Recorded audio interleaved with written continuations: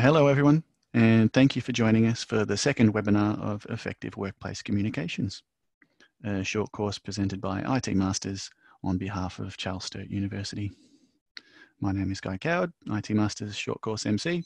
Your mentor is Brenton Birchmore. First, a reminder that we use Zoom for our webinars clearly uh, to encourage, but we do it to encourage questions and the use of chat during the webinar. We ask that you direct all questions relevant to course content to the Q&A section and that you send all administration type questions, sort of important dates, uh, times, um, resource availability and that sort of stuff to the support team, which is Hannah in chat.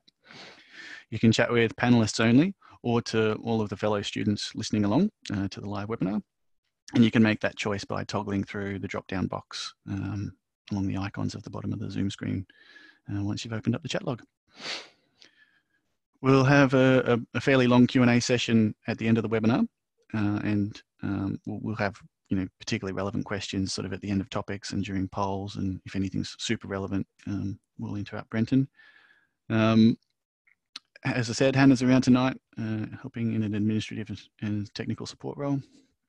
She's also responsible for the learn.itmasters.edu.au website or the course page or the Moodle page, interchangeable terms, which is where you'll find the other materials needed for this course. After Brenton's um, lecture or, or, main discussion, um, I'll have a little chat about studying with CSU, what it means, how to get in, um, talking about eligibility for our courses, and the subject that this short course specifically speaks to.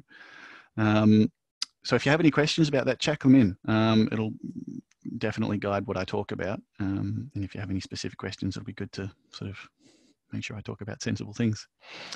Um, but for now, please please join me in welcoming Brenton. Um, hope you've all had a lovely week, and you too, Brenton. Thanks, Guy. Welcome, everyone. Good evening, good morning, good afternoon. Thanks for tuning in. Welcome back. We're uh, getting into the exciting stuff now the digital communications, digital mediums, digital stuff. And uh, hopefully, we're going to be able to uh, tickle your interest points and cover some of the stuff that you've all been dealing with a little more recently. The poll is great. Thanks, everyone, for participating in that, those that, that had the chance there. It's good to see that there's plenty of positive engagement. But I think most of us would agree that there's a room to improve. And not only that, but not only for ourselves, but also for all the other people that we have to interact with, right? So, what can we learn and what can we do that we might be able to use to help and guide others to do a little better? So, hopefully, we'll be able to give you some of that info tonight. There may be a few things that I will skip through.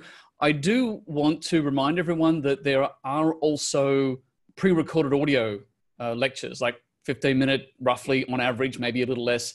They are in the learning materials that are online with the course, and I'm not really doubling up on those. There's a few things that I'll cover in the webinar that are also covered there, but there's a whole extra bunch of information in those that you might not want to miss out on. So let me just close the poll. Did we share the results? Guy, did yep, we share yep, them? They, they, were shared. Yep. They were shared. I just yep. going to click the extra right and get rid of it. And I, and I can only say again, I'm so grateful for those extra audio lectures. The others are the only short courses that do them, and they're lovely. Oh, excellent, excellent. Thanks, Guy. All right. So we talked last week about some fundamentals, and we talked about the differences uh, between different mentalities, different behaviors, uh, different subconscious elements that influence how we go about communicating. And here we want to talk a little bit about what might be different or of the same when it comes to digital versus direct communications.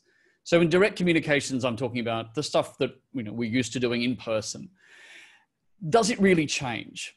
Well, some things definitely do change, and most of them make it more difficult. And that's something we probably already are aware of.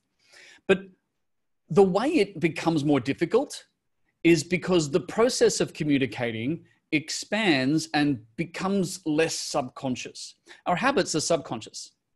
So when the medium that we're using to communicate with, when it simplifies and narrows down and has less richness, uh, less elements to it, we as a human being need to compensate for that. So our process of communications needs to expand. It needs to broaden and it needs to take a few new and different things into account. We need to behave a little differently. And when we don't, if we try to treat digital communications too much like the way we treat interpersonal direct communications, we won't necessarily have the same success.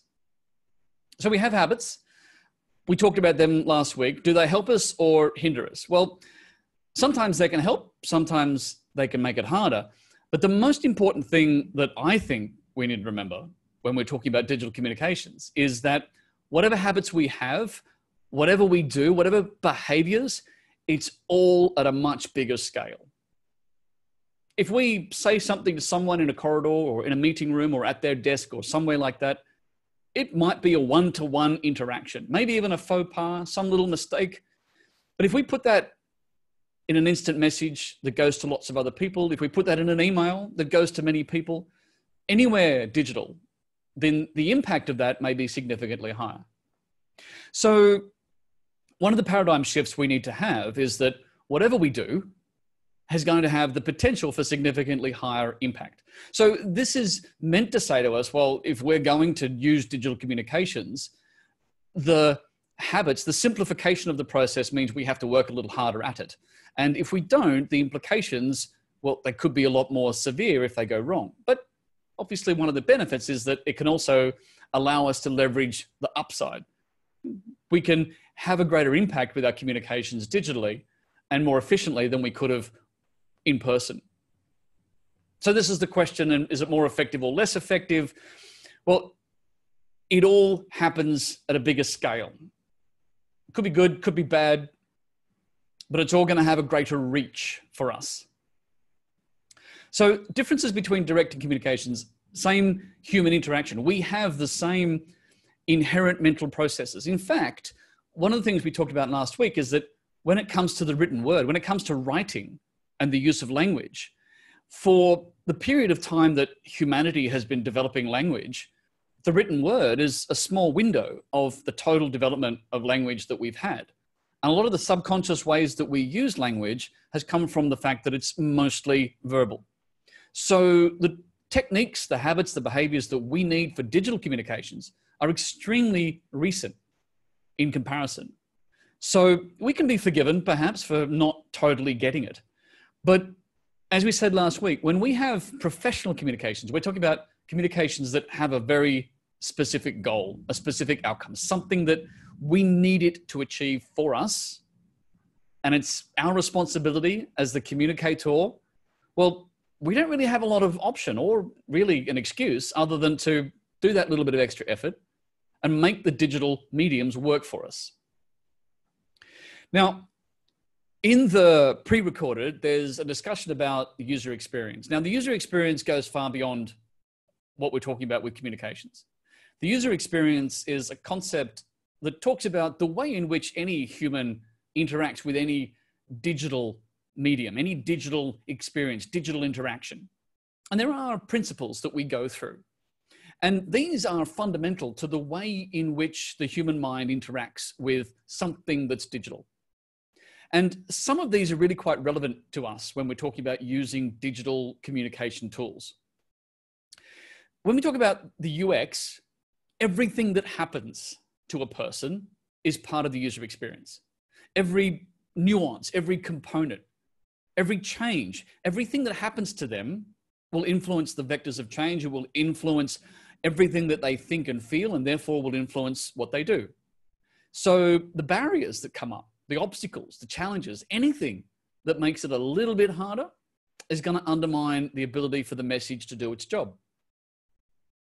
In a face to face communication, the person is the message because they say things and we are reading from that the way in which they say it.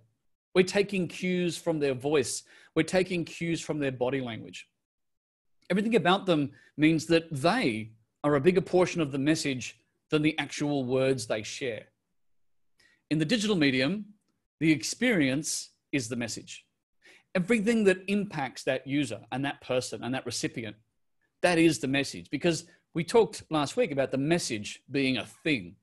The message is what has a license to influence the other person, to impact that recipient and to have them do something, make a decision.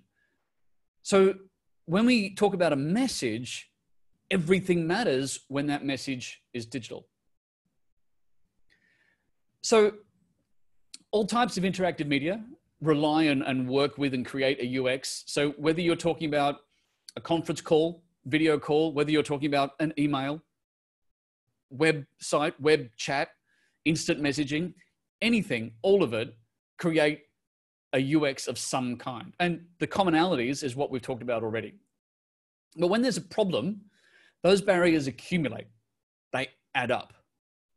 Now, if you're in face to face talking to someone and you're confused and you don't quite get what they're saying, you can ask for clarification. You can dig a bit deeper. You can resolve that moment of clarity.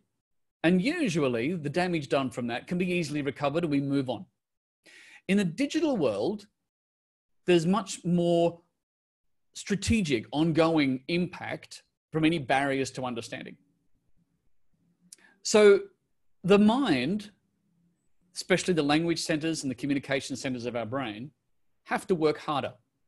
So any any tax, any overhead, any loading, any extra burden that the people that we're talking with have to do, have to have to spend with their communications is going to have a cumulative effect because it's like a tax that builds up over time. So if you've ever had, I'll give you a website example. You've had those moments where you're browsing a website or maybe you're online shopping or you're filling in a form, you're trying to find something and something doesn't look right, something's not intuitive, a button that you clicked didn't work, you can't find the next thing to click, the form doesn't work right, tab didn't do what you thought it would do, and you get some way through the process and you have a feeling of frustration. That frustration is not just because of the last little barrier that you clicked on. That emotional vector, that change that you're going through, is the sum total of everything that's impacted your emotional vector. So when we talk about doing anything digitally, every little piece is going to add up. And we're talking, of course, about the vectors of change. And we'll, we'll revisit those in a moment because I want to talk about some of the challenges. And I want to talk about some of the approaches that we might use in communications at helping overcome the challenges that the vectors of change will encounter. So, in a nutshell, everything that goes on during the UX is going to have an impact of whether or not the goal is achieved. And the goal is whether or not the message does its job whether or not the recipient, the audience of that message, is influenced, motivationally influenced in the way that we're hoping, that we want, whether or not they will make the decision that we need or want them to make, which is why we made the effort in the first place. It all counts. The good news is, with a bit of thought, effort, but attention to some of these details, we can figure it out. Humans operate with enough predictability uh, that we can define and predict what the user experience might be, or at least the obvious barriers we can aim for and find and isolate. So let's revisit the vectors of change. I'll put them all up, right? So we talked about this last week, the intellectual change, the emotional change, the motivational change. Right? We, we talked about it, you know, what does, what does it mean? What does it mean to me? And what will I do about it? Let's look at some of the barriers that come up and how we might bring a different approach. Now, there is no silver bullet to these. This is not a case of, well, when this happens, when A happens, do B. This is an approach that is a way of thinking that will give us a, a starting point as to how we need to align our thoughts when looking for a solution. So, if we look at challenges to getting people having their intellectual vector changed, if they struggle to understand something, if they are lacking a context or something they're just not aware of, it's outside of their range of, of awareness, we might need to refer to something else. We might need to educate them intellectually, pass on more information. We might need to get feedback from them to figure out what it is they don't understand. So we might need discussion. These are the kinds of approaches that we might use to tackle these kinds of challenges when we're trying to shift their intellectual vector. Similarly, the emotional vector, if someone has a pre existing attitude, a habit of the way in which they consider things or the way in which they judge things, they've already judged it in some way, or they're judging it in a way that's not helpful to where we want them to take their emotions. Or their hopes and fears are being exaggerated and interrupting their ability to focus on what it is that we're hoping they will think about. We might need to make it more personal.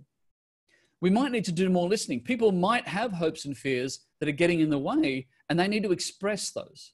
They might need to share, they might need to offload some of those thoughts and feelings. If things are appearing to be dramatic, then we might need to help normalize those. Take some of the drama out of the situation, bring the heat down a little bit so that the tangent that their emotions have gone off in might be less compelling and maybe that their feelings can be more easily influenced by what it is that we want them to consider and what we're sharing. Lastly, the motivational vector. If they have a different intention, if they come into a communication with a different intent, or maybe they lack a reason to invest, they don't have a sense of ownership of, of anything that's going on. Maybe we need to take a more encouraging position. We might need to include them in the definition of what this is. We might need to include them in the process of deciding what should happen. Help them see the value. Have a value discussion. Discuss value. Find out what their value is and look for ways to alignment. So these, like I said, aren't simple answers. They are a direction for us to go based on where we think the challenge might be. The big difference with digital mediums is that we often need to think of these in advance.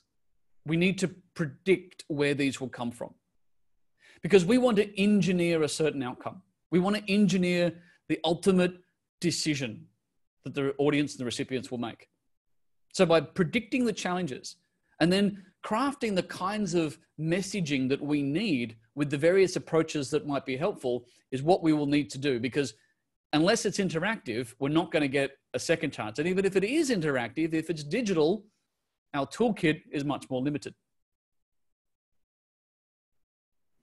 Now, some of you mentioned, not many, uh, I think it was, as was pointed out uh, by Guy, some people said that you know, email is a little more useful for them lately. Huh? Email is something that many, is, many of us have been using for decades. You know, I started using email back in the mid 1990s. I worked for one of the very first internet companies uh, in Australia. And we got excited when people started putting email addresses on business cards. I mean, that, that's how pioneering it was back then. But that was 25 years ago. Today, many of us think, well, it's, it's ubiquitous. We can't live without it. But its role and its functions have been drastically altered and threatened in the last few years in particular because of the way in which other mediums have brought different kinds of functionality that's starting to relegate, not starting to, has well and truly in some cases, relegated email to a different kind of role. Now, sometimes email has been used, and, and we do it, and I'm, I'm, I, I have done it. I'm sure many of us have done it. We've hidden behind email. Email can be a way of avoiding interacting with something. Email can be a way of saying, well, I got that in my inbox. I'll look at it later. I'll deal with it later. We have ways of using email to say, look, I've got too many, can't do them all. I'm going to not do this one. I'm going to not look. I'm going to, some reason we have that says, okay, it's only an email. A lot of that is to do with the fact that for many organizations, for many cultures, the expectations of accountability for email are lowering.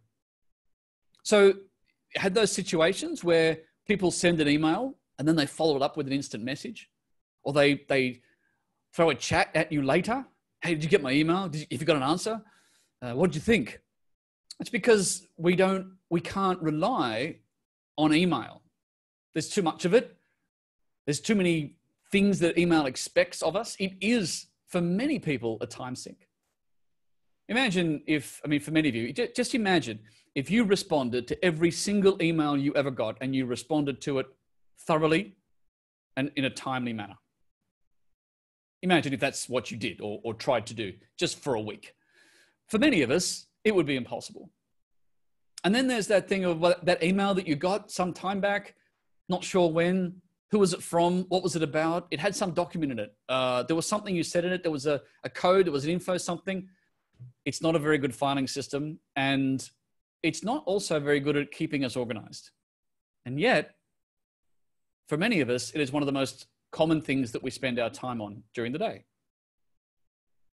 Sometimes we write emails from our perspective. We talked about this a little bit last week when we talked about the star model. We talked about the different perspectives, the different components of a message. We've all been guilty of giving an email rather than sending a message or creating a communications, you broadcasting our thoughts, broadcasting something. We've also had the problem where we've said too much in an email. We've, we've gone around it in circles. We've repeated ourselves. We've said the same thing a couple of times. I, I am guilty of that at times. I overtalk stuff. And I'm inclined to do that in an email as well. Why? Because I have high standards with the message. I want it to be received well the first time. Sometimes I am guilty of being a little bit repetitive when I shouldn't be. They're not going to read it twice. Or those situations where we send the email a little too quickly. And I don't just mean those emails that are, you know, full of anger that we actually should never have sent. That's a thing. But also those emails where it just came from here straight to the fingers, straight onto the screen, click send. And maybe it wasn't well considered. Uh, maybe it was even confusing. Maybe it had typos, grammars. Maybe it actually gave a completely wrong idea to someone. Could do more harm than good. It can create more work than it even ever could have saved. And then there's the element of, well, what happens when it's something with an emotional element to it? Something meaningful, something personal, something sensitive we have found over the last uh, years that what we do on email is something that we need to be very careful of where the limits are. Now, Simon Sinek uh, is a motivational speaker, he's an author, uh, he writes and, and speaks a lot on helping people empower each other. This is one of his quotes, essentially saying that a five minute phone call will usually save more time than he would have spent on email. The best thing about email was that it was faster than a letter and more convenient than a fax. The most important things about email today are not its benefits. The most important things we tend to talk about when it comes to email are its detriments, its weaknesses, its limitations. They are more often topics of conversation now, things we're more aware of now. And a lot of the time, it's not because email is less than what it was. Email is the same as it always is. In fact, in many ways, it's more powerful than it used to be. But our use of email as a tool is evolving and needs to evolve because it's just one of the tools that we have available to us. And especially in the last three to four months, a lot of organizations who might have not worried too much about some of the other tools have been forced to employ and deliver a lot of the other tools. Now, here's some things to think about. Uh, when, we, when we get to the email discussion, another slide or so, we'll pause and see if there's any questions about the email topic, and then we'll talk a little bit about instant messaging, etc. Things to do with email. Some of this will be obvious. Some of this will be stuff that you'll think, yeah, look, I know it's like that.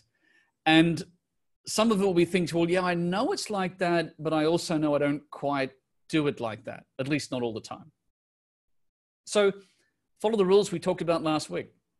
Any email is meant to exist only for the result. I have written many emails that I never meant to send. And when I say never meant to send, I delete everything out of the to field because that's the safe option. And I actually know I'm never going to send this, but I need to write it because I need to formulate my thoughts. I need to get it clear in my head, or I need to unload. I need to do something with that process personally. But that doesn't mean I need to send it to anyone. So the STAR model we talked about last week, consider the recipient. Always consider the recipient. Follow the three vectors. Email is very good at helping people shift their intellectual vector. It's good at sharing information. It's not very good at helping people have an emotional state. It's tricky. Like all written mediums are tricky at doing that. which makes it even harder at the motivational change. And yet, for most of us, one of the main reasons we use email is to try to get an outcome. We want something done at the end of it. Sometimes we need to read carefully, qualify what we've said. The statements, the assumptions that we've made, our credibility once damaged via email is extremely difficult to recover. It takes time to recover. So just a handful of mistakes in terms of credibility are on record. If we then say later, well, you know, we didn't quite mean it like that, an email is evidence that can be thrown back to us, you know, Here's what you said. So we always like to think that, you know, we're credible. We do qualify our statements. It's an altruistic goal that we all kind of have to some extent. When it comes to digital mediums, that goes up several notches. Back to what I said at the very beginning. Sometimes we need to address secondary points. Sometimes we need to beware of tacit knowledge. Sometimes we need to predict what that person's going to come back with and add it underneath. But we have to make sure we don't make it a really long email. We don't want it to be a lengthy discussion that people won't read. We'll talk about that in a moment, how long it should be. But whatever outcome we're looking for, we should start with it and finish with it. The opening statement, the opening sentence, the opening paragraph should normally be, What's this about? And the last sentence, statement, line should be, and this is what it's about a direct correlation. It's a circular journey. Show them where you want them to go, include all the details, show them where you want them to go. But each email has a job to do and nothing more. I want to talk about threading. Um, many of you probably would have had the problem where someone has sent you an email and it's got three different things in it. And those three different things, yeah, they, they have connections to each other, but they're also fundamentally different. And what happens is that we might have a question, we might have a reason to reply about one of those three things. So we do. Hey, look, thanks for that. Uh, regarding this, blah, blah, blah. And they write back to us. And then we write back to them and they write back to us. And it's maybe it's healthy. Maybe it's a good discussion and it needed to happen. And that's email doing its job and we've just completely forgotten about the other two things that were in the email. Or if we haven't forgotten them, they've certainly been deprioritized in our conscious mind. Because what's in our conscious mind is whatever's busiest, the stuff we've been talking about. And this email thread has buried the other parallel points that were original to it. Now, maybe they were really meant to be there, but maybe they shouldn't be. Maybe three separate emails was a better plan giving the opportunity for three separate threads of conversation to take place to enable them to still run in parallel to each other, but without diluting each other. That's what threading does. Now, if we're not consciously thinking about threading and creating threads of conversation when we create emails, maybe we're underutilizing what email can and should do. So, the important ingredients, let's talk about the subject line. What's the goal of the subject line? Now, I'm sure a lot of people the quick and easy answer would be the goal of the subject line is to make that person read the email. That's that's what it is. That's what it means to me. That's my purpose with the email. That's that's it. That's a lot of people are going to be saying that. You're going to be thinking that. You think that's what it is, right? Well, that might be what it is when it leaves your email. When it arrives at the other end, it has a different job. When the recipient looks at a subject line, its purpose to them is to decide whether or not they will read that email now, first, second, third. Your email is just one of many. They'll use what's in the subject line to prioritize, help them make the decision which email they'll read first, when they'll get to your email, if they'll get to your email. So you might be thinking, well, the subject line is just to make them read it. They're thinking, well, it's not only that, it's when do I read it? So if we are misleading in our subject, if we use it as a sales pitch, if we're a little deceptive, and let's say that that's our approach to subject lines, what's the recipient going to think? They're going to think, well, can't trust Brenton's subject lines. He's trying to sell me on this. The last couple of times I've opened it, it's been misleading. I'll open it later because I can't trust it. I can't trust him. Not sure what to do with it. I'll open this other one here because I'm pretty sure that that's really what it's about. So we can help ourselves by having our subject line do the job it needs to do for the person who's actually reading it, which means make it as accurate as we can as to really what's in it. Every email needs to have expectations. This is what it's for. This is what it is. Sometimes that's a separate line. Sometimes that's the starting line. You need to get the point across in the very first paragraph, the first 50 words, the first sentence or two as to what the rest of this email might be about. Because if they don't get it in that first section, there's a, there's a chance that they'll start to tune out. They'll start to skim. They'll do that first last word in the paragraph and they'll be looking for what does this mean to me? What, what is this thing? Do, do I need, really need to read all of this? Give them the answer to that question in the very first sentence or two. Now, emails can have a huge variety of lengths. Um, most conversational sharing informative emails, I, I go with the, the rule of three. Should usually have three points, and that usually means three paragraphs. And if it's going to be more than that, you need a reason. That's my point of view. Yeah, you can have many more than that. Some emails are very long because that's appropriate for their purpose. But if it is, make sure you're making a proactive decision as to why is this more than three points and why is this more than three uh, three paragraphs and if it is three points don't put them into one paragraph break them up in fact anytime you write anything the rule is one paragraph makes a point so don't put two points in the same paragraph threads we've talked about threads i won't revisit it i've talked about this last week actually in the q&a stuff we talked about right when you put somebody in the to field, that is the simulated equivalent of dropping it on their desk. It's not the only thing on their desk. And if it's anything like my desk, it's got a lot of things on it. But if you CC them, that is the equivalent of walking into their office and just popping it in their filing cabinet. Doesn't even go on their desk. It's, it's there. They know it's there. They watched you do it. They saw it come in and go into their filing cabinet. And they'll go and look at it if they have a reason. And if not, they won't. That, that's the mental equivalent of these two things. BCC, I haven't even mentioned here. I really, really cautious about BCC. I, I just, as a rule, I just never do it. Unless I'm required to do it as some sort of compliance requirement, legal stuff, whatever. Otherwise, I just don't do it. That's my policy. Uh, if you need to copy someone without the original recipients knowing about that message in that way, send it, and then forward it.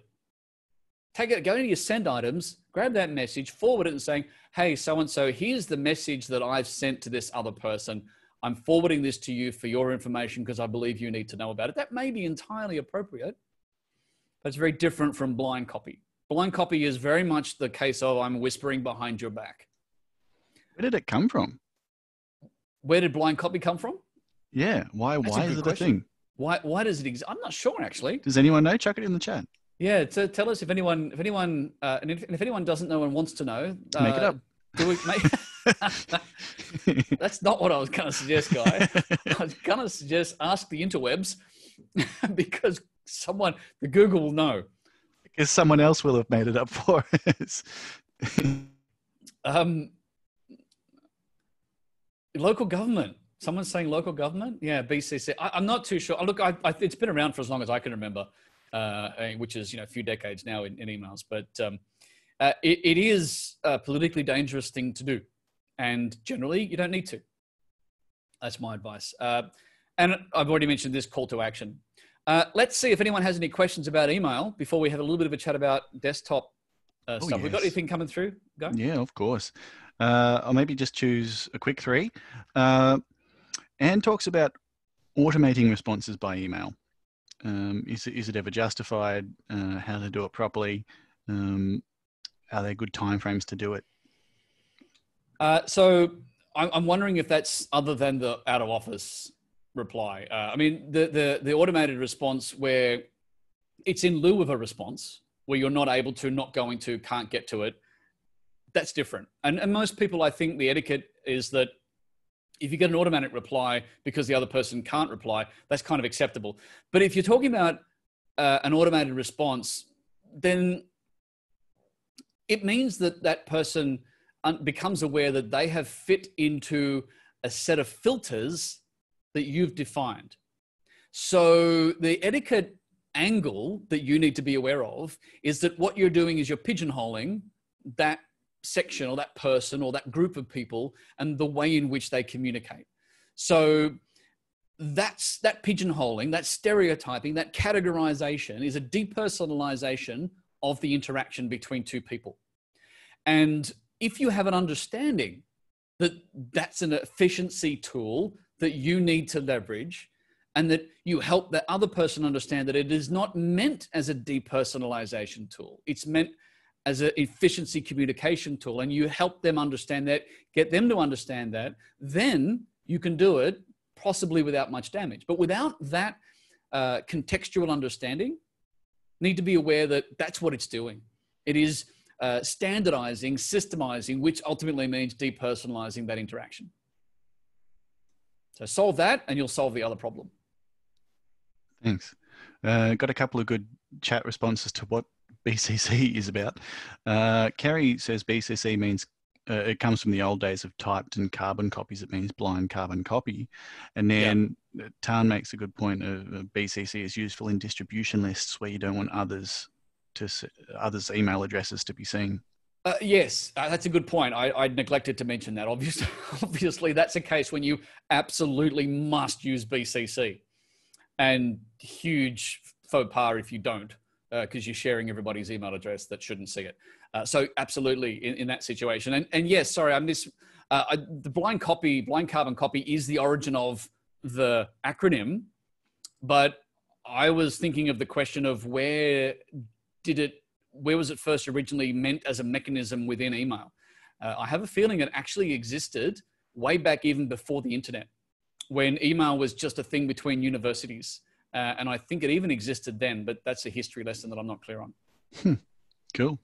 We'll go back to questions. Jesper asks Do you think that programs like Microsoft Teams will replace email for distributing news and documents within a company? Look, I think uh, systems like Teams uh, have the potential to replace email in the sense that they're a more advanced and, more complete toolkit. So Teams creates integration that lets you integrate with uh, calendars, it lets you integrate with uh, uh, email, it lets you integrate with documents, it lets you integrate with all sorts of other things. And it's, it's one of the things that does that. So we're going to see the uh, blurring of the boundaries. Right now, we have a bunch of tools. We have an email tool, you have a chat tool, you have a this tool, you have a that tool, and they're all different tools. We will see them condensed and ultimately you'll have single platform comms tools that'll be a bit of everything. So if that's what you mean, then I would say yes, that is where we're heading. But it's just due to the consolidation as the bigger organizations create richer platforms that do all things together. Hmm. And then we get into interesting questions about why you'd use one over the other. Yeah. Uh, maybe one last question. What do you think of using WhatsApp group as one of the communication channels among staff? It might be a good introduction to, to other forms of let's let's talk about that here because that that helps segue nicely into the next part of this conversation. I'm going to talk about uh, desktop-driven chat systems, and uh, the short answer to that question is that uh, it is an effective, a potentially effective tool at enabling people to share group-style information. But WhatsApp is just an example of a tool. I'm going to talk a bit more about the functionality rather than the product because a, a whole bunch of things can potentially do that. So when we talk about desktop driven chat systems, I'm talking about the stuff that doesn't only run on your phone. So I'm not, I mean, yes, you can now include WhatsApp in that because you have WhatsApp web, but that's not necessarily just it. I use a few. I, I use Slack. Uh, uh I use a, a couple of other tools that are chat systems that I use at my desk. Now, I can log into them with my phone. I don't tend to do that very much with those ones because I use them at my desk when I'm interacting with colleagues. And that's where it's that's where it lives and that's the job that it does. It ena- enables me to communicate with colleagues, but I do it on a keyboard. And that means that as an etiquette, there's the expectation that I'm going to be able to type sentences or, or at least put words together that make grammatical sense. I'm not typing with my thumbs. So I don't have the excuse of you know, using acronyms and, uh, and leet speak. So in these sorts of systems, we have a professional communications environment that still gets to enjoy full professional language. But they're also interruptive. Like I'm here conducting the webinar and I'm obviously busy, but uh, someone could message me. I mean, uh, clearly I would ignore it right now.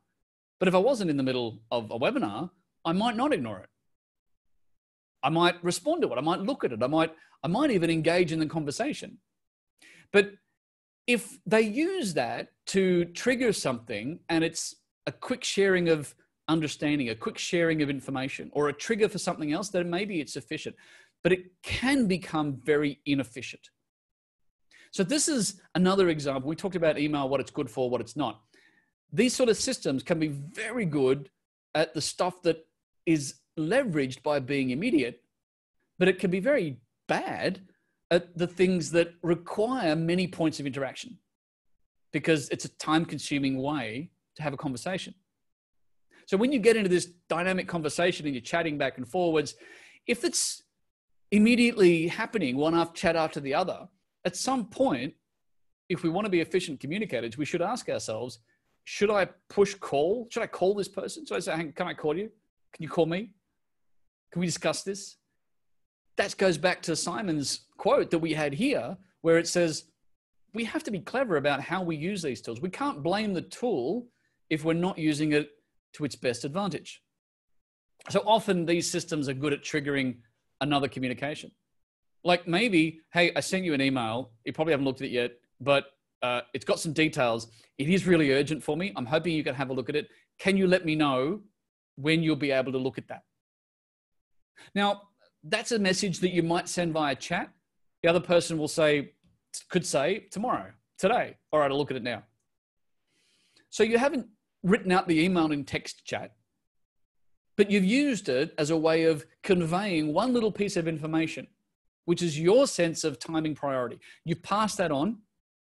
And then at that point, you can step back. Now, if the person says, No, I haven't read your email, what's it about? Just tell me.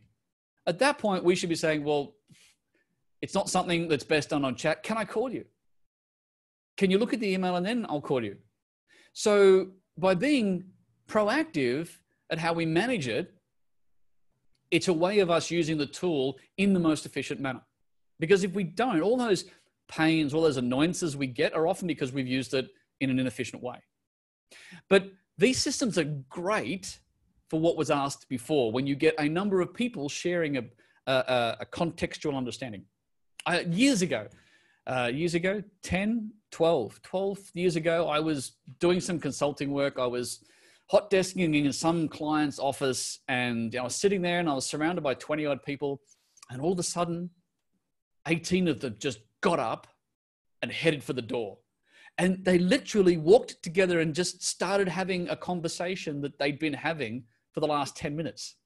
And that conversation is where they're going to go for lunch and it was it was spooky because I had no idea that this was going on, and it was like synchronized lunching, and everyone just got up and did it. But and yes, maybe that's a small esoteric example of how that could work, and we all know that it can work for much more work-related outcomes, but it can be very powerful in the same way that a meeting can be very powerful. Remember those things we used to have? Remember those that stuff we used to get in a boardroom somewhere and we all sort of, you know, come and bring our laptops and our papers and stuff. And remember those? Well, they were good for some things and they were terrible for others. Exactly the same. The problem isn't the tool, the problem is the humans in it. So we need to use the tools like these tools in a way that's going to give us the right results. So if we're using chat systems professionally, we need to be aware that it's not texting. It's not just a social version of let's send a text. We need to be articulate.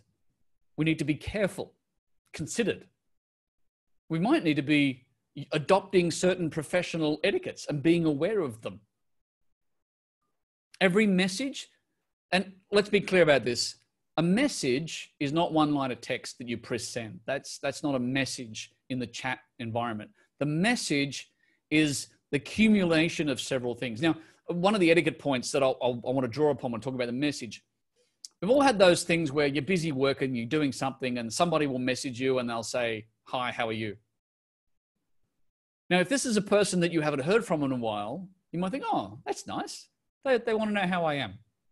If this is a person you talk to every day, you'll think, What do they want now? So, as a point of the message and its purpose, you might double up and say, Hi, how are you? Have you got time to discuss XYZ? Now, you've done the polite thing. Go back to how we engage politeness in person. You walk up to someone, Hey, how you going? Oh, good, thanks. We put that into our conversation without any thought, without it's so automatic, it's so deeply ingrained. We just skip straight onto, and then we have the next, and we don't even notice it. We might notice it if it's missing, but we don't notice it when it's there. We can do the same thing with instant chat. It's pretty good at giving some intellectual vectors, long as it's brief. And it's good at motivating people because it's interruptive. It's like, oh, dear, Brenton's messaging me. Yeah, he sent me an email earlier this morning. I haven't read that yet. He's probably going to be, I better read the email before I reply to him because he's going to ask me about it. So it can be a good motivational trigger.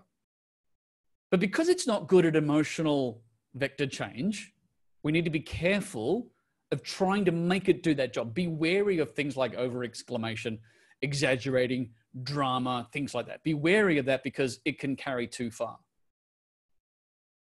It's also something that if it's part of the corporate work company system, then it might be on official record. It might be something that gets recorded and, and gets kept. So assume that it is. Marilyn vos Savant, incredibly intelligent woman. Um, way back when uh, Guinness Book of Records had such things as highest IQ, she was on that for a while. She's incredibly intelligent. She's written a number of books about being clever. And one of her points is that we all live in our own little world. Everybody's mind is its own unique existence. And this makes communicating a work of art literally it's we artistically compose every single message we try to send to someone else which is at odds with the fact that firstly we have professional outcomes that are usually measurable by KPIs and secondly all these tools which some are good at one thing and some are good at something else. And it all gets a little bit crazy sometimes. What an amazing name for a clever person. Indeed. What came, did did that come first, or like?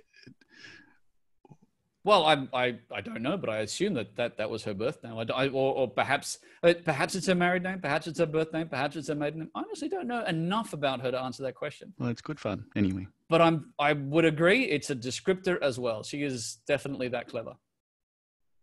So instant messaging. Now I'm talking about moving a step beyond the desktop chat. I'm talking about the hand phone, the mobile devices, the instant messaging that you usually do with your thumbs. It's symbolic in nature. It's highly abbreviated. We, I mean, we know what the autocorrect does to us sometimes. The autocorrect is the technology's vain attempt at trying to actually make us use words. So we know that there's a lot of symbolism. We know that there's a lot of abbreviations. There's acronyms. There's all that stuff going on, and it's happening because the system as humans, we want the the best of both worlds. We want to make it so incredibly quick and easy and simple, and yet we want it to be rich with meaning. It's not. It won't be. It can't be. It can be very good at something very specific, and we need to be very guarded and very careful about what those things are, and don't ask it to do things that it's never meant to do. Instant messaging, because we're talking about a personal device, often gets into the areas of individual attitudes. Some people have a different opinion as to what they should be doing on or with their personal device at certain hours of the day or certain topics that don't belong on it.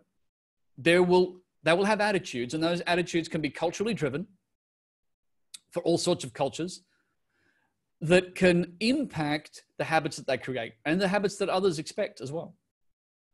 Now, if we're trying to get a colleague to have a motivational outcome, we need to be a little bit mindful as to what their particular attitude is regarding instant messaging.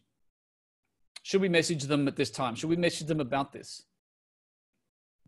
It can invade personal space, and sometimes that's a good thing, and sometimes it's not. I'm sure all of us have experienced a bit of both sides of that coin where it works both ways.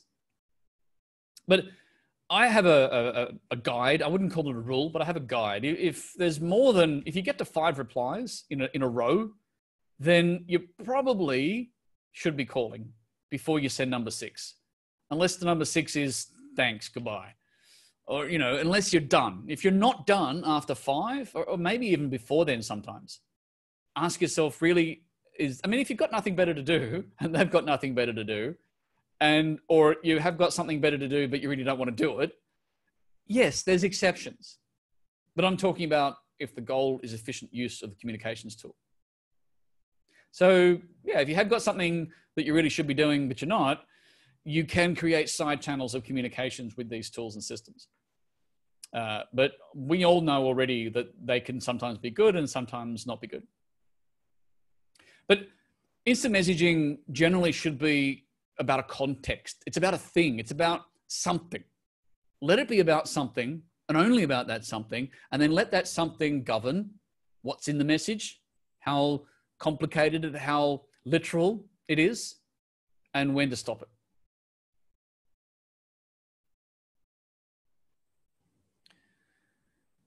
Um, before we jump in and talk about video calls, actually, maybe I will still jump in. I've only got a couple of slides left. Actually, I'll do that, um, Guy, because I'm just being aware of the time. I've only got a few minutes left of our initial allotment. Let me go through this, yeah, and then we'll have the questions discussion in, in, in five minutes' time. How about we do that? Yep. So we're talking about video calls. I want to just draw out a handful of things. And we talked about how different digital mediums have things that we need to think differently about. And we need to. We need to lift our awareness of what it will and won't do and what it's good and, and not good at, what's hard, what's easy. Video calls have an artificial element because the reason we want to see that person is because we're looking for that emotional connectedness that only seeing them in face to face can create. So we want to see that. We want to see that and, and have that interconnect. But it's we know they're not really there. It's artificial. So when it's artificial, we need to make up for what's missing. It's also the most complicated form of digital medium that we can use. Now, I'm going to go through some of these in a moment, but some of you might have already noticed that I'm generally looking at the camera. So I'm engaging with you with, with eye contact, but I occasionally do this. And you've noticed that. That's me checking the questions, that's me checking the chat. And if I look down, I'm looking at my slides. And even though they might be relatively brief, each time I do that, some little part of your mind will feel it. You'll notice it. You might not worry about it. You may forgive me for doing it, but you'll still notice it. So the complicated part means that I need to control my behavior. I need to limit some of the stuff that I would normally otherwise do subconsciously. I need to get rid of the ums and ahs, and, and I need to try to engage with the camera. Things that I would never need to think about if I was there in person. But it means that you can have the body language. You can have the visual cues that we would otherwise miss and that we really crave. That additional layer in the communications that we talked about last week. And therefore, it does bring us closer to the other person, it makes us feel more connected to them.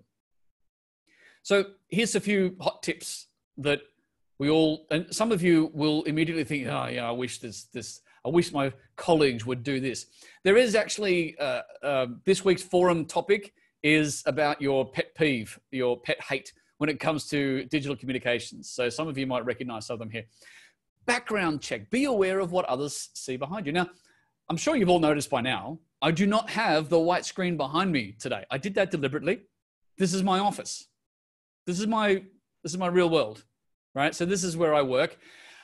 I've chosen what you see behind me. It isn't random. Well, actually, the only random thing behind me is that's that's really the only place in here where the couch can go, which is kind of handy. The color on the wall the fact that there's a monitor there, the fact that there's a, a Buddha statue there in the, the, the teaching pose, right? The fact that there's that that's Athena, goddess of wisdom. There's some you know papers over here that that suggest that I know a few things. There's there's Einstein, right? So these are choices that I make. There's some books. Uh, you probably can't see what's in there, but there's books on education. There's books on business. You know, there's books that says, "Hey, this this is kind of tells a story about me." You don't need to go through all those details, but what you do have behind you, like, uh, did anyone notice what was Guy's background? Did anyone notice his particularly Venetian background? Anyone remember? What did Guy have at his back? Anyone know? Put it in the chat if you remember what Guy had. Maybe you don't know. Maybe it didn't sink in. Maybe and, and, and, do you remember what I had last week, which was just bed sheets? but yeah, last week was sheets. So Wendy had it. right. Yeah, uh, it Barbara's got in. Venetian blind. Yeah. Blinds. Yep. Notice the blinds, right? So let me ask you another question while I, I'm going to carry on. But in, in, in chat, what do you notice most about what's behind me? what jumped out at you uh, what did you what, what did your eyes go and the reason i'm asking this question is because you'll see the differences of what different people noticed and what different people spotted so have a look at that and get an idea as to all the different things that different people are noticing about the background there's some there's some fun stuff in the chat there brenton uh the orange wall the statues next to the TV, the the certificates, the awards, the pretentiousness. this is this is great stuff. And and so much variation, right? There's something there's something back there for everybody. we got a poll. Should we should we launch that now? Yeah, go ahead. Let's do that. I'm going to keep talking. Microphone, right? Mute. What's that? What did I didn't say? Mute mastery. I, I had a I had a chat. I had a, a week or so ago, a long online chat with uh, some friends, and one of my friends had a desktop microphone. And he must have moved that microphone every three minutes. He'd slide it across the desk and he'd slide it over there. And uh, maybe he was cleaning his desk. I don't know. But he also had his phone next to it. So every message he got went ding in my ear, right? In all of this. and then he decided during the boring bits that he'd watch a video on his phone, which came through louder than the other person that was talking, right? Mute management, right? Absolute golden rule of being online. Know where your mute button is, ride it. Jump up and down on it as much as you need to. That brings us to microphone wrangling, right? So some microphones are omnidirectional, some microphones are not if you've plugged the microphone in, you might have to ask that question. If you haven't plugged it in, you probably don't. It'll be omnidirectional. If you have uh, any kind of plug-in mic, most of them have some sort of direction to them. Be aware of that. Make sure you're in the right angle. If it's omnidirectional, know that everything will get picked up. If it's on a laptop, know that every physical contact with the laptop or even the desk will translate straight through into the microphone. Keystrokes in particular, clackety clackety clack typing can be louder than you speaking in front of it. So be aware of what your microphone will and won't do. Camera angles, you want face on as best you can. Now this isn't, mine isn't perfect. Mine's actually a fraction too high because the, the position of the monitor means that it's uh, probably three or four centimeters higher than would be ideal. Uh, but if I have it directly in front, then I can't see my screen. But be aware of that. Lighting, uh, two point lighting, three point lighting. I've got uh, I've got two lights so that they come at me from either angle and don't create shadow. You don't need to bother with that. We'll talk a bit more about this next week when we talk about delivering webinars, which is a little thing that we'll cover next week. So I'll go into more of that detail next week. Staying on target is avoiding distractions. It's about things happen, but we don't want to be deliberately distracting. We don't want to be deliberately um, you know, yeah, people are talking. I'm going to go over here and do this. I'm going to talk to this other person that's just come in. Be aware of when we need to be paying attention and what impact does it have on another person when we're not? Because this is all part of our personal brand. It's all part of us. It's all us. So just because it's a digital medium doesn't mean that it's a veneer. It's not a pretend us that's out there. It's the real us. And everything that happens really reflects on us. It's really interesting, Brenton. Like, uh, just just as to go with the poll, we've, well, I'll share the results.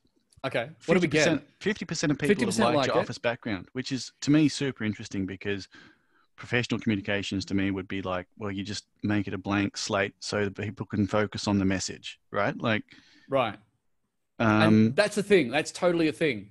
Uh, so I'm I'm competing with this to a, to a certain extent, right?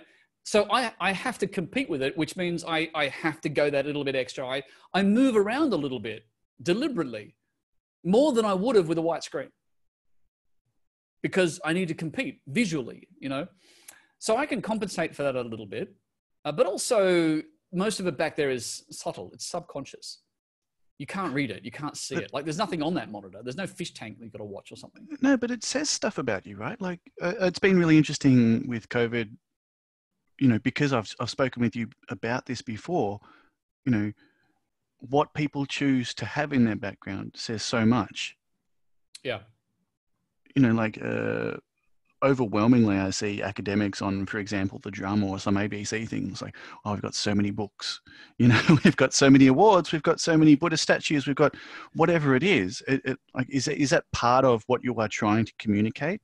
absolutely there are youtube channels devoted to dissecting and critiquing the backgrounds of people who present online especially people who don't present for a living even those who do. There are there are literally youtube channels and many of them just devoted to critiquing reviewing the background.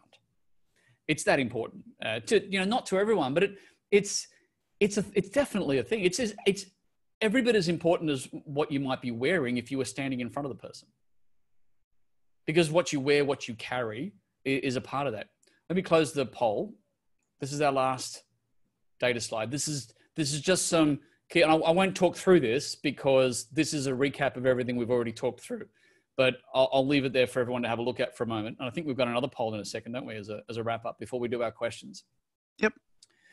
um, so it's giving subliminal information about a person. And it helps us fill that extra channel. Right so having all of that means that you can position me in a more complete way whether it's good or bad each of you will judge separately but it's more complete. And that's satisfying. That's that's cr- scratching that itch. That's filling in that gap. And it's it's dealing with the curiosity. Now when you first got in when, when we first started there would have been lots of looking around and what is that but at some point that mental would have that mental energy would have simmered down and you would have been able to focus more on what i was saying. So i didn't give you the really heavy stuff right at the beginning. Not that you would normally anyway but we had an hour. So i had plenty of time to let you soak in the view before i started to say things that i was hoping you to tune into more. So now that's just background stuff, and most of you probably not even thinking about it. Although if I change something next week, you'll probably all notice. Maybe I'll do that on purpose and give it. Get everyone to say what what has he changed this week? What, I'm, what did I'm he still move? keen on the outfits. I wanted to change outfits every week into something stupid. Yeah, Super interesting, Brenton. I don't know which which do you prefer as as just someone who presents a lot and is, I would say, very good at it. I, like this when it's a long conversation. I, I like it when it's when it's a, a, a drawn out, or when um, people are getting to know me. All right. So I guess this, the other question is, when do I put the screen up? Well, I put the screen up during uh, a lot of the normal regular webinars that I have with university courses because uh, a lot of people come to those. Uh, I will have a, a the open in the first week or so, but then often I'll put the screen up because a lot of them are tired. It's the end of the day, uh, and they're not necessarily wanting to put too much mental energy into it. You know, some of them don't even want to see me. They know what I look like. They just want to listen to it. So I will I'll reduce the noise, because in some cases it becomes noise. But for the most part, I like to have it because it does make things more complete from my point of view. Interesting. Uh, see, I, I just hate the webcam altogether, but I'm I'm practicing because I, I that's just a, a personal thing. Uh, you know, it makes me. I, I'm conscious of it. Yeah. But so much of it is about, you know, what you can communicate to the person as opposed to how I'm feeling. If I can get over it, well, there we go. Yeah, and and I think part of the point of the discussion we had tonight was to talk about what we take for granted or what we don't tend to think about very much, and to talk about the fact that our old habits aren't enough. We need to deliberately create some new ones when it comes to digital mediums, and we just not going to get the same result if we go ahead as normal. Super interesting. Right. What questions have we got? Heaps. Uh, All right. I wonder we, if we, maybe, you have something else before we go to the questions? uh, we do. We have that last poll, um, which is going to be very interesting. And you were going to talk about CSU. Yeah. Um, so we'll, we'll start with the final poll. Um, in group digital calls and meetings, which of the following digital problems annoy you the most? In this one, you get multiple choice, which is nice. Oh, you can choose many. So this is also the topic of, or one of the things that we would encourage people to. You might want to share on the forums for this week. Is your your uh, pet annoyance, whatever it is that really gets on your nerves? It doesn't have to be one of these. Could be anything. Uh, obviously, be respectful and and make it anonymous, but uh, humorous stories are always appreciated. Uh, and uh, many of many of us, many of you, many many of us will find it kind of interesting to see what Ah. other people find annoying. Well, I certainly am. 70% not using mute when they should. See, for me, like uh, when I put this poll in, I, I thought the only one that would come up a lot is people obviously not paying attention. That to me says, oh no. First of all, I'm not very good at talking. And, and second, it, it- it's a sort of a mark of disrespect. Um, for me, that would be the only one. Um, but all these other ones, I thought maybe it's forgivable. It's, it's something that people are still learning. Well, yes, except the third of them have said that that's still not cool, right? Yeah, really interesting. Yeah, that's true. So this this isn't an, it- it's not an either or; it's a select any. So I and, and what I find interesting is that the only one that does seem to be scoring quite low is you know camera issues, and I tried to put things in the forum here that were generally solvable. These are things that we can deal with if we make the effort. And so the thing that annoys us is really when people don't make the effort. And I suppose cameras is something that maybe on this list is one of the hardest things to fix uh, if you're if you're guilty of it. So Mm. maybe people are a little bit more forgiving of that. Perhaps that's a factor. I'm not sure. Yeah. So like last week, you said um, if if if people don't receive the message, it's on the person trying to communicate the message as opposed to just not paying attention. Yeah. Interesting. Yeah. So it's you know I'll share that result. Uh, again, yeah, seventy percent not using mute when they should, which which can be quite upsetting. Um, So, so, and what I would say for everyone else, because you know, everyone who ticked that, which is you know sixty nine percent of you, you're probably thinking, yeah, I, I, I use mute responsibly. I mean, I, I would say that about myself, uh, but do we do it universally? Do we do it consistently? Do we do it to the extent that maybe we should? Do, do we have our moments where we're not too worried about it? And if we do, then we're guilty of being in that seventy percent where someone would say that about us so this is this is also about being more consistent with adhering to the things that annoy us and, and we know annoy us so meeting our own standards All right. Well, um, I'm thinking I might do a little bit of a CSU chat. We've got heaps of really good questions, so I'll try and whip through it as quickly as possible. So I'll, I'll try and hold your attention, and if uh, you all disappear, I'll know why. Um, okay, so I'll I'll grab the screen off you, Brenton. Yep. And then I'll I'll, start a slideshow. And if you could talk me through it, I'm actually terrible at presenting on Zoom. I much prefer when other people do it. So we can see here, hopefully, a slide deck with a bunch of different Charles Sturt University campuses. Is that right?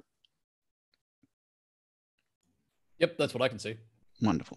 All right. Well, the good news is you don't have to go to any of these because COVID, and we are very good at online education, hopefully, as you can see from Brenton. Um, so uh, this is my artist impression of what this This is a photo from Hannah, by the way. Uh, I, I quite enjoy it. You can do it all online. That's the point. Um, it doesn't matter where you are, when you are, and we can work around your other uh, commitments. That's that's the key. So um, I didn't get many questions throughout the, the webinar about what anyone would particularly like me to talk about. So I'll just go through the usual one. If, if you see anything, uh, Brenton or Hannah, feel free to chime in and interrupt me and say, can you answer this specific question? But basically, um, these short courses are meant to be a bit of a taster into what's what you can expect from studying with IT Masters in Charles Sturt University. This short course, for example, relates to the subject professional communications, which is a part of many of our postgrad courses in, in IT and management and project management. We think it's a really important skill across all of these different disciplines. Uh, IT Master started in about 2000, 2003, somewhere around there, um, from Martin Hale, someone who you might remember from a lot of EDMs uh, with lots of long-winded messages, which probably uh, go against the messages that Brenton is trying to impart to you.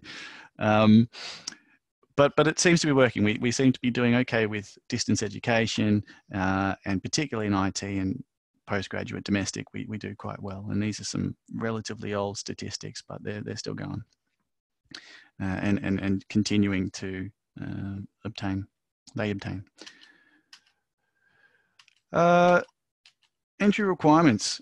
Actually, I'll be really interested, Brenton, if you can maybe give some critical feedback. This is this is a good, you know, what not to do, or or the bits that are good, or the bits that are bad, the bits that are authentic. Um, at the end of this little prezo, um, if you if you are wondering about um, postgraduate education, um, we do have entry requirements, but they're not they're not as uh, onerous as you might think.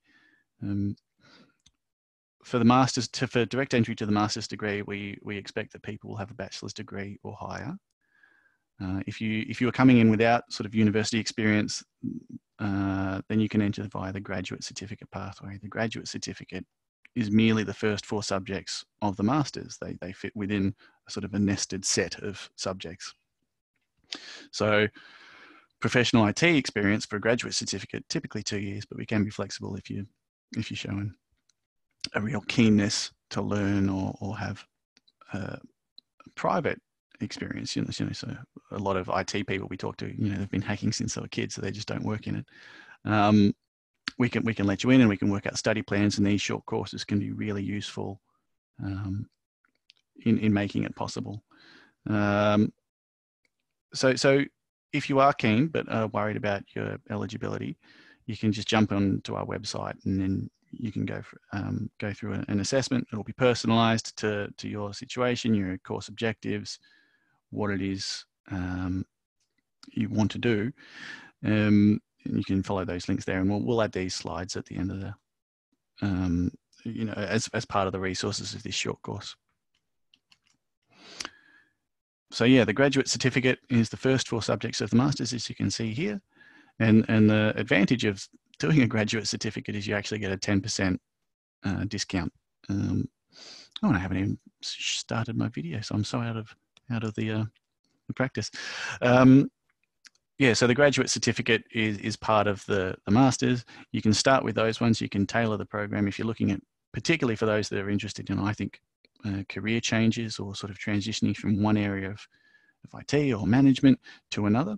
Um, it'll be really useful you can sort of get the piece of paper on on the CV. Um, you can even put it on there whilst you're whilst you're studying, um, just to, to prove that you're, you're keen regardless, and and then sort of continue on, chip away at the rest of the masters as you consolidate the knowledge that you gained, and and maybe work towards some industry certifications to earn credit towards the the rest of the masters.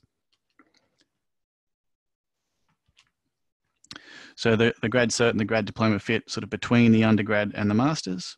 Um, it's, it's, a fairly common pathway now, I think. Um, and be something that you're all aware of or, or, or can easily become informed of about.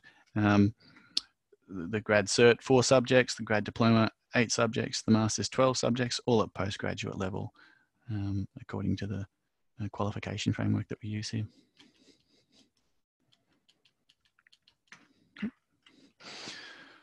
Time commitment, we try and keep it as flexible as possible. Um, six sessions per year Um, as you can see here, Jan, Feb, May, July, August, November. Uh, basically, whenever is good for you, we, we try and we say you're welcome to start.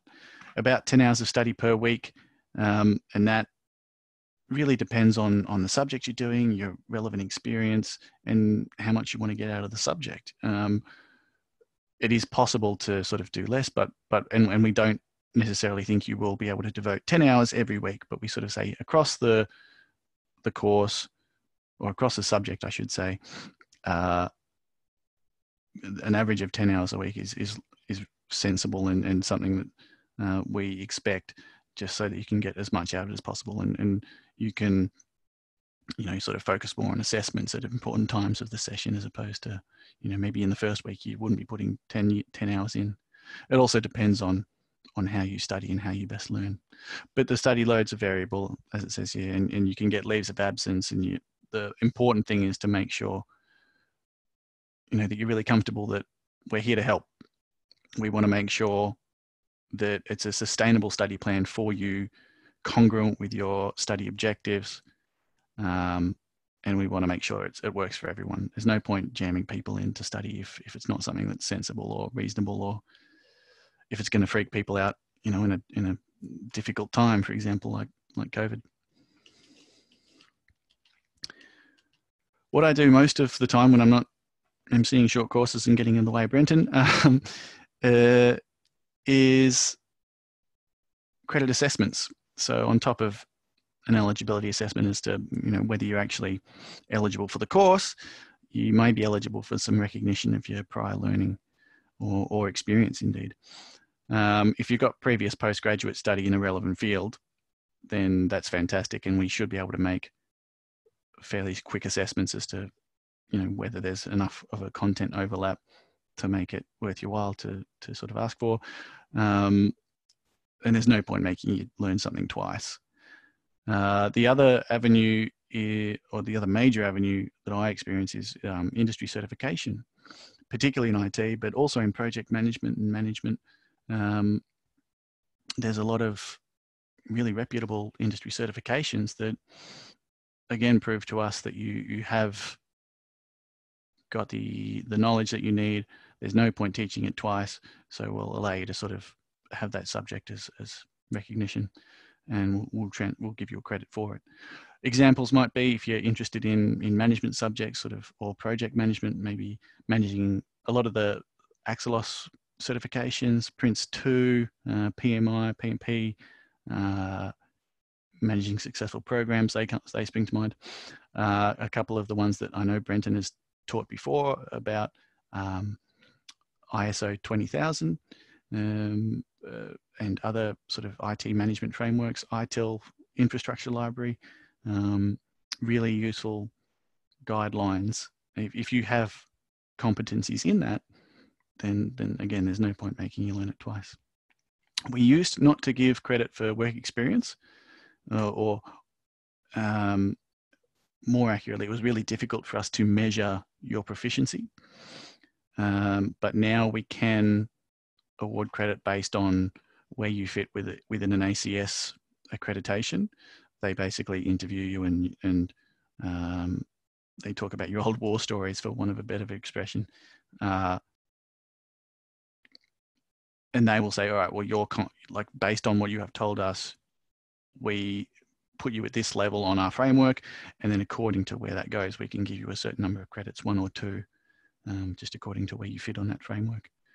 And of course, these short courses uh, are really useful. Not only are they hopefully really like enjoyable and and useful and a good networking experience and a, a, time to get a free taste of postgraduate study with people like Brenton. Um, if you complete three of them, you know, do the exams and get the course certificate, you can also earn a recognition for the effort that you've made to do that, and you can get a credit there. There's a 50% uh, threshold on maximum um, on all of our postgraduate courses, but um, yeah, six credits out of 12 is, is not a bad, bad deal. So uh, next steps, uh, do your research. Um, we, we back ourselves as saying we're quite relevant and we, we try and make all of our courses um, really specific to the topics we're talking about. There's not a lot of patter, there's not a lot of filler, particularly um, in, in technological masters. I think there's a lot of subjects that can be a bit wishy-washy. We try and make sure that our subjects are not only reflecting the latest theory and, and uh, teaching students about the theory, but also about the application of the theory to the business setting. Uh, that I really think that that's the best way to teach for particularly technological courses. Um, we and, and we of course try and keep abreast as much as possible of the industry certification changes, um, whether it's whether it's IT or, or management. Um, you, and do your research about the the lecturers and the, the content. We go out of our way to try and source the best possible lecturers like Brenton, uh, who, you know, are clearly experts in the field and able to develop these courses and uh, subjects. Um, and we really think we're doing quite well. And, and I think the numbers uh, reflect that. If you're interested in maybe getting one of those assessments and, and sort of seeing, first of all, whether you are eligible into the course or, or at least looking for a, a pathway into the course, um, please do get in touch. This is this is the stuff that I do most of the time. It's uh, if you can go to our website itmasters.edu.au, you can um, click the link to "Am I eligible?" and if you put in information about you know what your experiences is, we can sort of work out a, a really sustainable um, course plan to to make sure you you meet your objectives. And my details are there. Uh, so if you need any of them, you can. If you need to get in touch, please feel free. Um, there's a couple of other, couple more of us in the office who who do this, um, these assessments, or can answer any questions about you know your study and potential study and your plans and what's a good fit for you. So I might stop sharing my screen, Brenton, and then talk about how we can talk about this with respect to professional communications. Right. Should we tackle the questions? Sure. Am I too am I too big now on everybody's screen? Shall I put shall I reshare my screen? Yeah, chuck your chuck your slides up.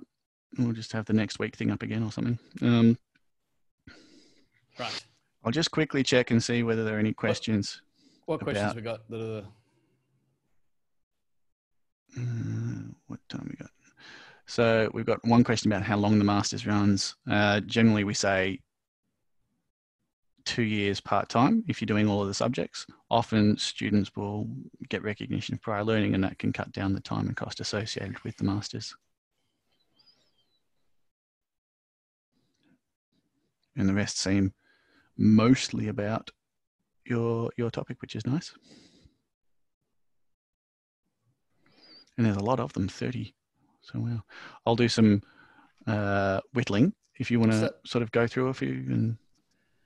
Sure. Okay. Let me uh, let me move that screen over to the middle. Uh, so I'm going to start with some of the easy ones that might be able to knock over first. I think we talked about uh, the WhatsApp group. So what do I think of using it? I think it can be a great tool. Very much, it's just about using the right tool in the right circumstances uh, and using something that the staff or the other colleagues are comfortable with or helping them become comfortable because they come to understand the way in which the tool is meant to achieve a purpose.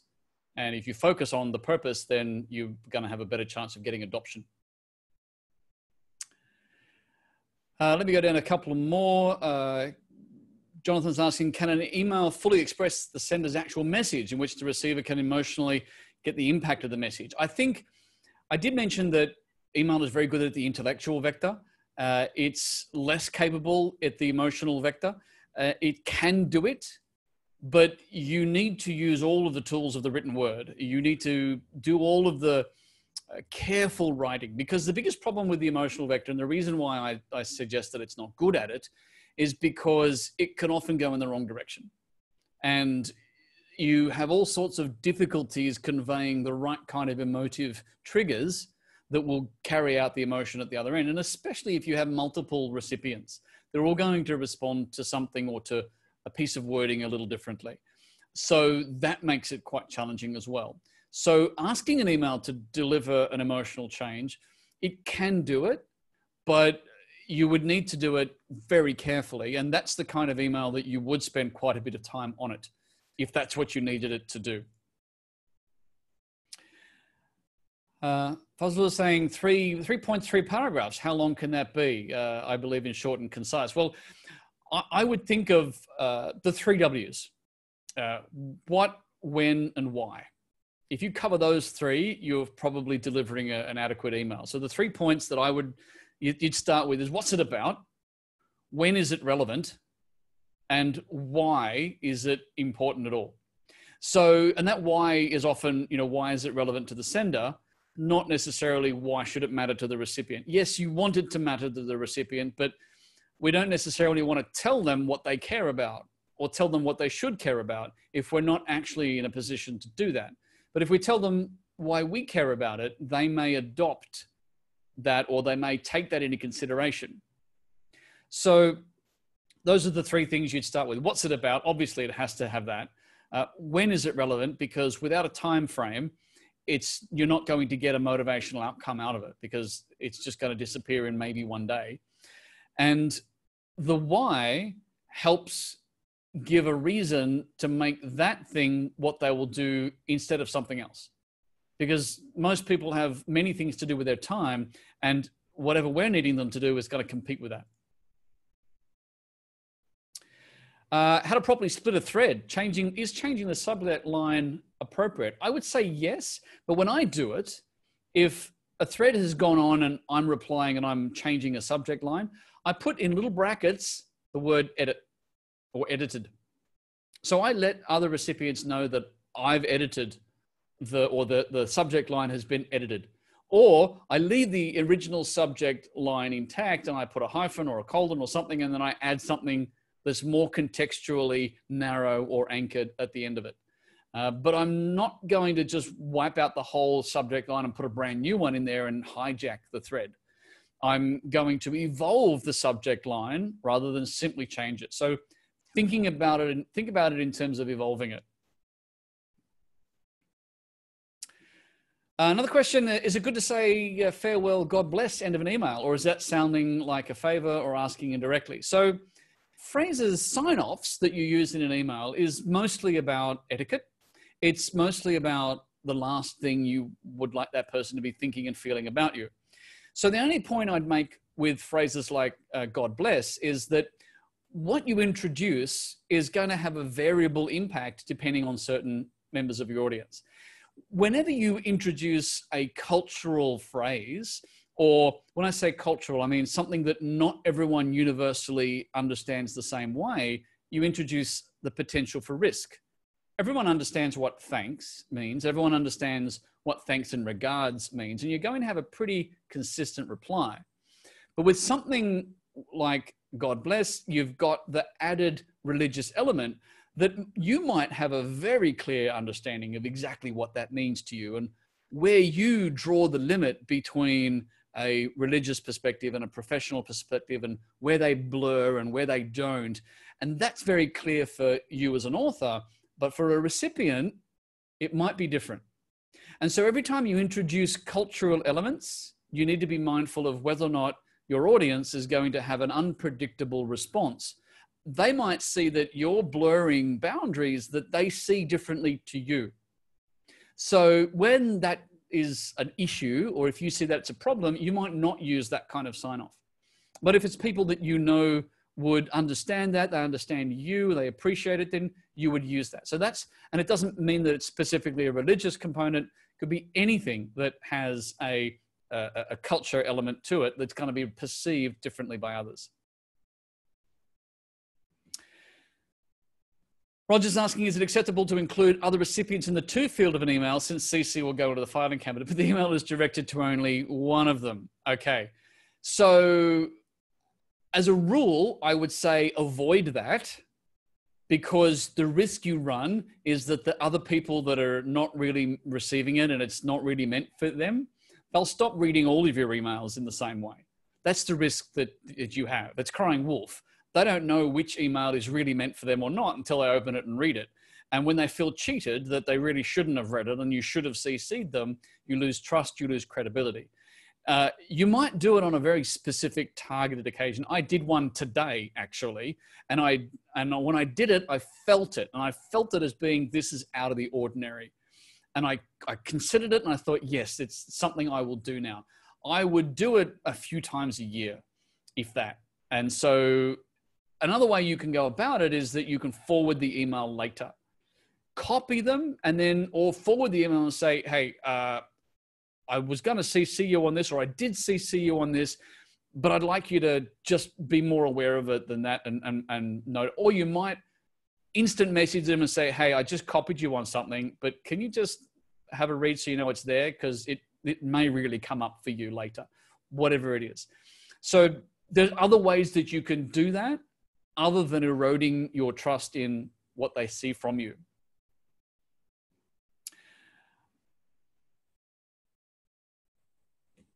Anonymous says, uh, can you advise, is it rational to keep the subject line without altering it in corporate setup? I think that's a similar question. I might, uh, multiple facets. So I think I've already talked about altering the subject line. And I do think that, yes, there's a case for doing that, but you evolve it, don't just alter it. Uh, with desktop instant messaging, they often come with a presence indicator, here, away, in a meeting, etc. Always set mine to away to allow me space to respond, etc. So what's my thoughts on that? So uh, you're probably doing that because of what you've experienced thus far. And maybe you're doing it because if you set yourself to available, you're going to get bombarded. And how you respond to that, uh, if you set it to away, that gives you the excuse of not responding. I would normally suggest that whether you're available or not, we all have the excuse or the we all have a valid i'm not going to respond to this message right now there's no way that another person can know and expect that you are absolutely available. that You might be on a call, you might be deep in thought of a, writing something that you need to concentrate on. There are a hundred reasons why we're not going to drop everything and respond to that. So the message for all of you and all of us is when we send an instant message, don't expect an instant reply. Don't demand one. That's not how it works. If that's what you really need, put it in the message. If that's, that's not going to work, ring them. That old fashioned thing called a telephone. And even then, they might not pick up. So that's what I think the etiquette should be. If you need to be away for defensive reasons, uh, and if you're always away, then they know you're just doing it because you don't want to set yourself to being there. So once they've decided that it's a tactic on your part, then they will use a tactic to get around that and they'll just message you anyway. So maybe some systems with a do not disturb means that you won't even notice the message. Maybe you should use that instead and say, well, if you, but then you have to use it on a more deliberate basis. So there's no simple answer to it. It's culture, it's etiquette. Uh, and if you have a small team of people that you're dealing with, maybe you can let them know, hey, this is how I want to do this. If it's a larger team, then you're going to have to educate them slow and gradual like. Are people using face-to-face meetings less uh, pre-COVID uh, and other forms of more? Absolutely, uh, I would definitely agree with that. People are using face-to-face meetings significantly less. If you're also asking the question of what's going to happen after everything goes back to normal, I absolutely believe that there will be a new normal, and a lot of the barriers, hurdles, obstacles, emotional, financial, operational, they've been overcome now, all in a rush and once those barriers are broken down, people will be using digital mediums of communication a lot more than they used to pre COVID. Yes, there'll be, we'll go back to meeting and, and interacting face to face and all that sort of stuff. We'll probably even all go back to shaking hands. But there will be benefits from using digital tools that are really good at doing things because they're really cost effective and they're time effective and they're this and they're that. This is our apprenticeship this is our chance to learn how to use these things really well. And as we do, a lot of these new methods will be here to stay, provided we keep using them in the right way. Uh, I'd like the panelists' views on simultaneous chat room whilst listening to a lecture. Great Can question. We, we, have, we had an example of that tonight. So the views on simultaneous chat room whilst listening to the lecture can be distracting and interruptive, not paying attention to the topic at hand. absolutely true, but then it depends on the topic. If the topic being discussed is something that only some people present would be interested in at any point in time. Remember those remember those old-fashioned meetings we used to have when at any one time half of us didn't need to be listening. We kind of needed to because it was too hard to fake it. But online we can fake it, right?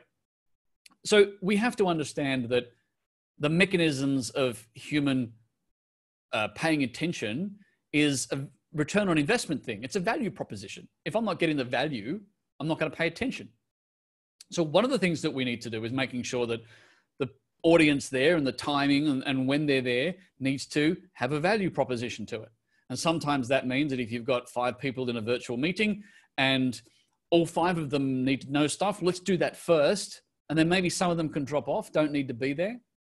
When you're talking about something like this, that everyone's wanting to be there for a period of time, there's stuff that I've said that some of the audience already knows, they already get it, they totally understand it you know, I'm just echoing stuff that they're already familiar with.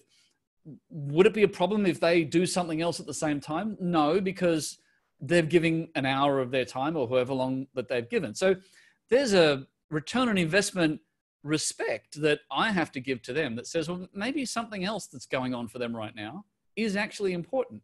And if it's not, and they're just bored with me, well, then that's that really is on me as well. And I can't fault them for either of those. But if it's something that I really, the outcome that we are all larger than, like I'm in an organization and I'm sharing something that the organization requires them to listen to, then it's different. That's when the outcome is bigger than both of us. And that's when it can be poor etiquette to be distracted.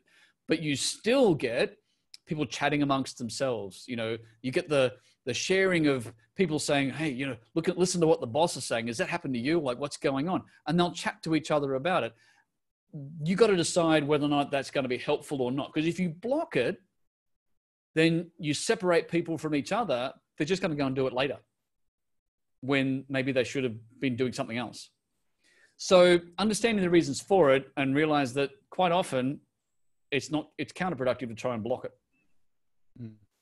And and also the, the the opposite side of the same coin, you know, people that might be not fully across what you're talking about and need a, a leg up quickly, those people who are well versed in what you're talking about can give them that help really quickly. And that's why we really employ that chat for the short courses. Yes, I mean, there's no way I could watch what's going on in the chat during. I'm no. I'm busy, but uh, all of you, uh, you also get in this environment, you get the benefit of seeing that you're there with others. There's things of interest. There's things that other people are saying that are interesting, and I, I I try to go at a pace that allows a little bit of that to, to sink in and allows that to be part of the experience. So remember I said at the beginning, the user experience. Everything counts. The chat counts.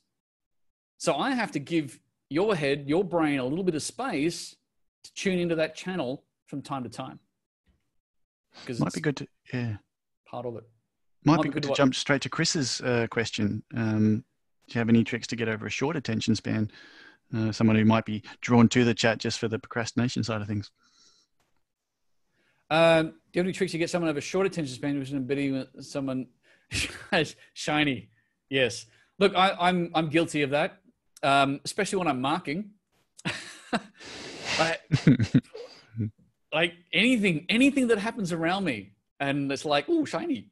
Now, but that's that's because you have to put certain mental effort.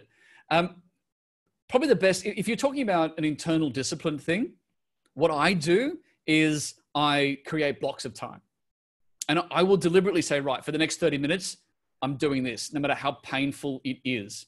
And I reward myself with something that I really would like to do at the end of that, whatever it is. And, and so we have to manage our ability. If we push ourselves through something that's horribly boring for too long, we'll stop absorbing it, we'll resent it. There'll be a heap of other things that come back to make that painful. So, when you can, do the thing in short bursts, allow interruptions, but just the same way that you you cap the boring stuff, you cap the interruption. Put a limit on that too. And maybe through that kind of system, you can feel comfortable about the fact that there's a bit of a quid pro quo going on within yourself That's the method that I use. I think I'm hoping that I've answered the right question there. Uh, Jeanette, uh, does anyone agree that managers should be BCC'd on email in order for the person to respond? Uh, Is that like the, the passive aggressive one where it's like you haven't responded? Uh, so my my simple answer, there's two sides to this. One is the politics of uh, making a manager aware of somebody not doing something. Uh, that's a thing. That's totally a thing. People do that, and that's a problem that that employees and, and colleagues need to deal with. But BCCing isn't the only way of dealing with that. So if if that's a thing that you think you need to do on an ongoing basis, then that means that every single time you need someone to do something, you're using up their manager's time. Then a proactive and helpful way of resolving that would be to in, communicate with that manager and saying, I feel the need to do this. And this is probably going to unfairly consume your time. And I'd like you to tell me is there some other way that you'd like me to handle this in order to get this person to do this? Because I have goals, I have objectives, I have KPIs, I have things I need to do. And I'd like to work with you on solving this rather than using you as a weapon. Can we work something out? Now, that would be the altruistic approach. That would be the let's be mature about this and work this out not everyone's going to respond to that and some managers are as much of the problem as anybody else. So but the best answer is not to rely on the communications trickery to achieve the goals. If you've already done that and it hasn't worked or you know it won't or, or, or whatever then forwarding it separately is an alternative to bcc uh, but if you bcc it the recipient doesn't know that their boss knows. So you you're not really using that as a encouragement upon them. You're using as a trap for them to fall into. So you're, you're really giving them enough rope to hang themselves. Now, in theory, that tactic should result in that note, that rope getting tight at some point.